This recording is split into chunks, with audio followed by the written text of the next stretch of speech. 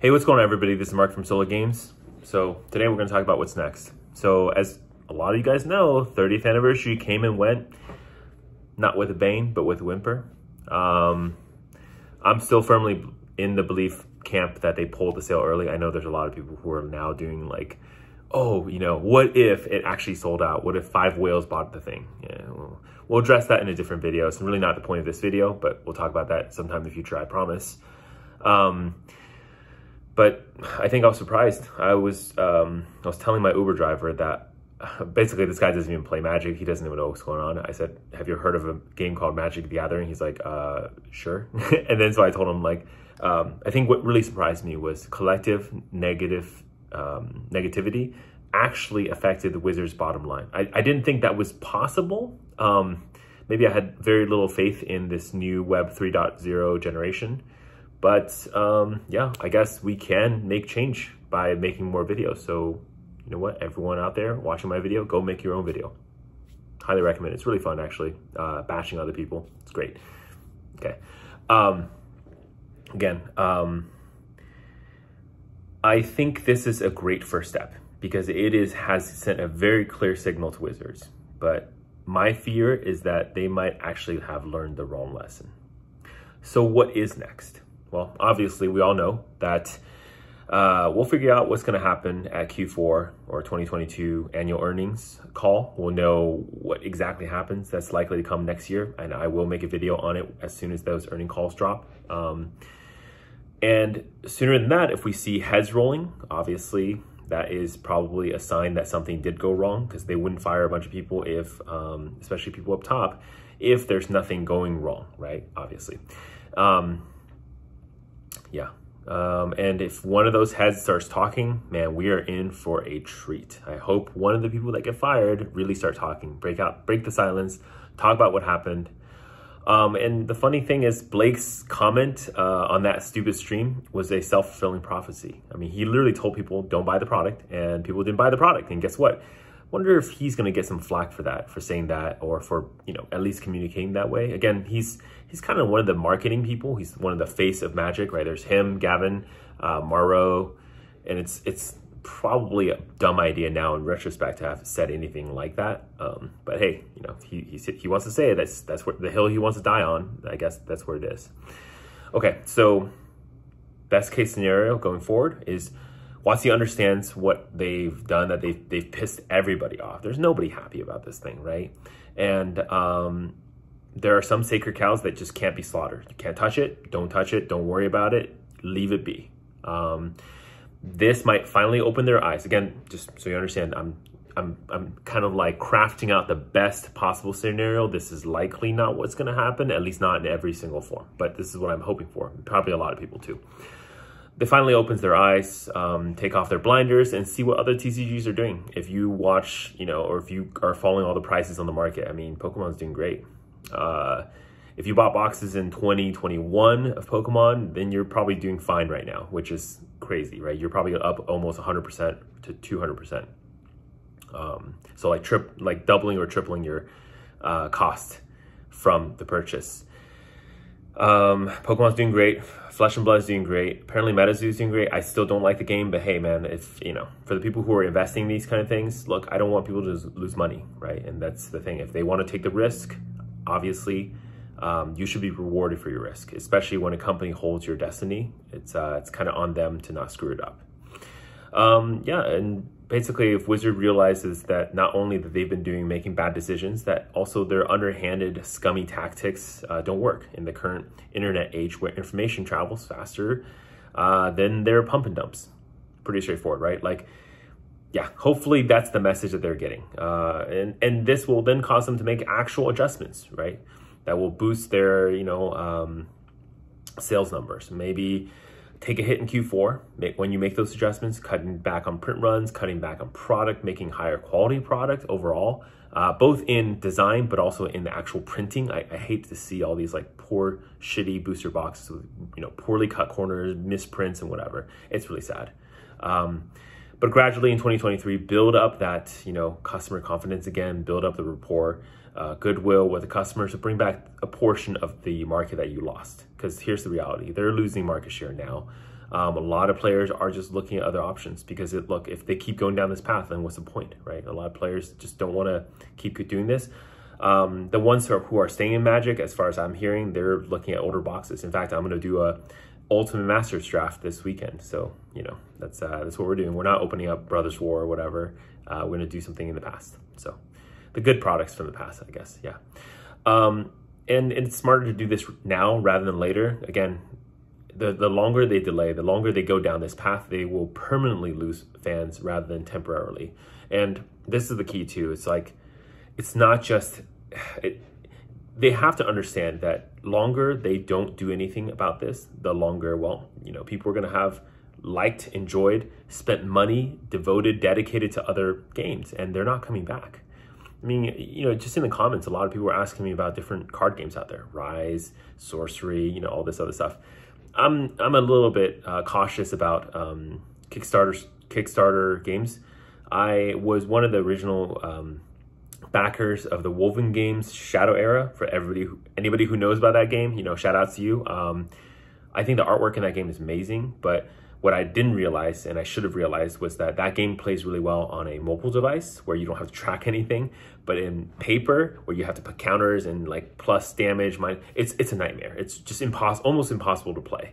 So that's why the paper game never took off, which is fine. Like Hearthstone would also be a terrible game to play in paper because all the transforming and things becoming other things is just really hard to track in paper. That's what I like about Magic. Every round, the damage and you know those things kind of resets, so it's easier, right? Um, that's the best case scenario. Worst case scenario, though, is WotC looks at this and says, okay, we failed on this product, but they push and try something different. Um, what are some of the options here, right? They just realize, hey, this is the wrong product, but that doesn't stop them from trying something else. Um, the different options here is like, look, maybe they start engineering another scummy way, maybe to sell a different product. Like, uh, what about better cards? How about this? $10,000 for actual beta reprints right? So a beta pack, basically, $10,000.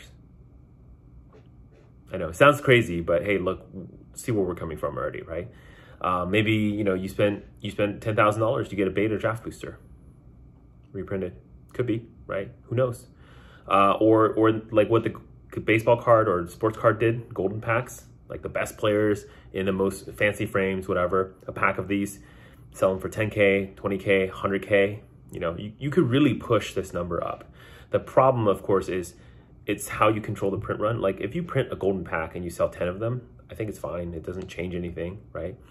Um, you're going to get a lot of flack. People are going to hate you because you're selling a hundred thousand dollar like cards. But at the same time, like maybe it doesn't matter. It doesn't really affect anything.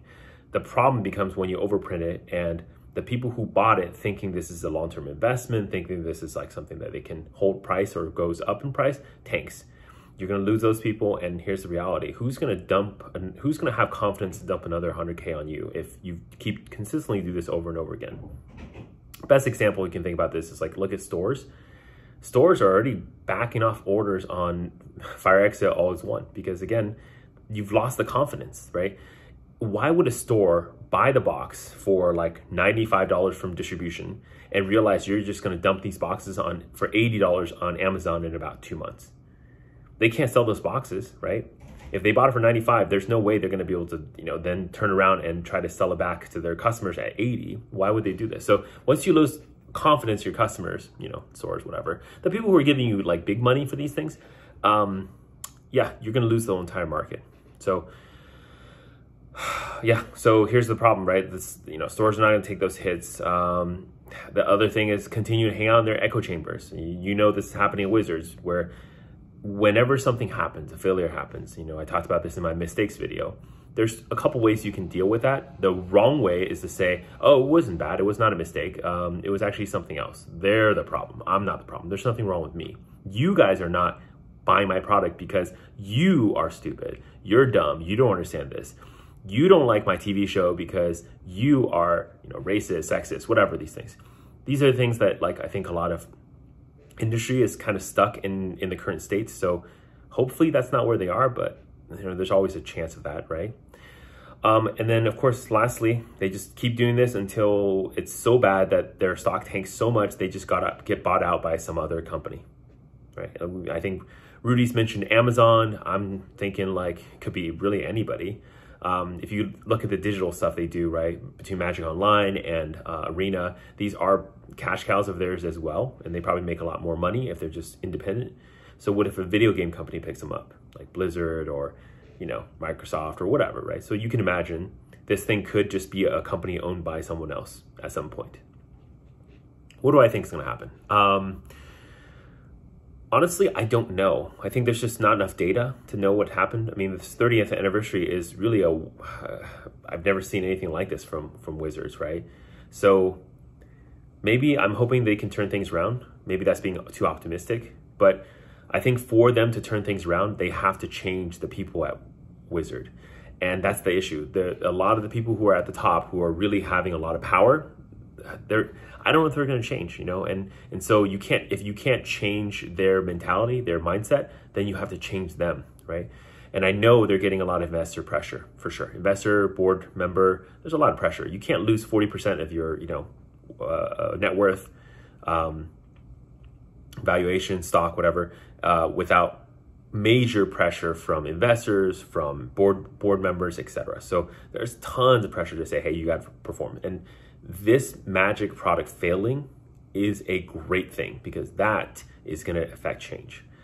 So I'm just saying maybe like either in Wizards, someone high up is giving the wrong message, right? So maybe this is like, you know, uh, Chris Cox giving the wrong message to his people about what kind of product he wants to see, or it's the people who are running their individual departments, not understanding how to run them properly. And then again, you know, having echo chambers with each other, with, you know, whatever, just saying, oh yeah, we're doing so great. We're awesome. There's, you know, pads on each other's backs is amazing, right?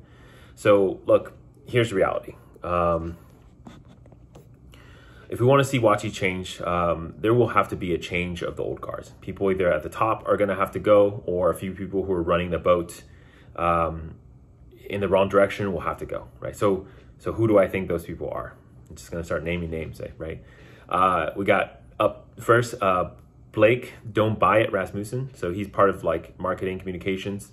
Um, yeah, I don't think he understands how to talk to his constituents, his his uh, player base. Um, saying things like "Don't buy the product if you it's not for you." It's kind of like stupid, especially when the community or you know the content creator side has already echoed that same sentiment before. We've been saying the product is not for you, he literally repeated that line, which is so dumb. You're from Wizards. We're saying this because we think you're being stupid. You're literally confirming what we're saying. That's that's the worst communication I could have thought. It's like just some brain brain dead comment, right? Maybe he watched the videos and he really agreed with it. So um, we got it. you know Gavin, Secret Lair, Verhey. Like, look, Secret Lairs are cool. I know there's a lot of people who really like them, but I'm gonna be honest, they're they're just there's just too many Secret Lairs. Um, and the way that they've ran this thing again, it's like you know, what, what does all the time, over dilution of a good idea or product. When you have a good idea, they always keep milking that cow until the cow is dead. And I don't know why they do this because they've done it so many times. They should have realized this is not good. We shouldn't do this. But either they're out of create, creative ideas where they can kind of vary what they're doing over different sets, or they just don't understand what they're actually doing, right? Maybe that's what happens. Um, anyways, Gavin Verhey, yeah. And then this is the big one. Um, Mark, Black Border, everything, Rosewater. I think part of the problem now is that while Maro is really good at communicating communicating with the community, he's been you know part of the whole thing. I think one of the challenges, especially in the recent um, podcasts of his, which I actually listened to, I, I, respect the man a lot. I think a lot of his um, like his his um, his 20 lessons in 20 years great GDC uh, GDC uh, pr uh, presentation if you have never seen it. I think his he is a great designer, and I think he is really creative. I think, though, at some point, um, maybe it's the, the echo chamber, chamber he's in. Maybe it's just he he's kind of weak and gets pushed around. Mark doesn't seem like a person who is um, confident, who's going to stand up for himself. He does feel to me like someone who's going to get pushed around. And maybe that's where the problem is, is that he's getting pushed around and people are pushing him in different directions to make more money and he's just caving. So unfortunately, if that's what you're doing, then you got to go. Um, and lastly, his manager and old pro player, Uh, Aaron, what the hell's going on? Forsythe. Um, yeah, what a what a brain dead comment to ask about why is standard uh, not popular. You're the designer. You're you're responsible for this R and D team. You should understand why. You shouldn't have to ask the community this. You should have came out tell, telling everyone, here's what we see. Here's what we're gonna do about it. I mean, even Blizzard, who is basically in the shit house every single release of every single expansion now, knows how to communicate these things, right? We were wrong. We designed this this way. We made a mistake. We're going to change it. He doesn't even say that much. He says, I don't know why it's going bad. Huh, that's weird. No, we, we can't have these kind of people working at Wizards. Um, and that's the problem and maybe it's not them. Maybe it's somebody high up saying you got to make money, and of course they're just scrambling because they're they're they used to be you know goody boys who who design things, and it's all for the the, the benefit of the ga- game, and they didn't understand that the benefit of the game how that how to turn that into a monetization model. So now there's a lot of pressure, and maybe they're just making mistakes because they're being pushed in directions that they're not comfortable in. Could be. But if that's true, then then you got to ha- make sure the the head above them rolls because somebody has to go. And I think there's got to be more than one person at Wizards who has to go because I don't trust that this current team can turn the ship around. And that's the problem. So, peace.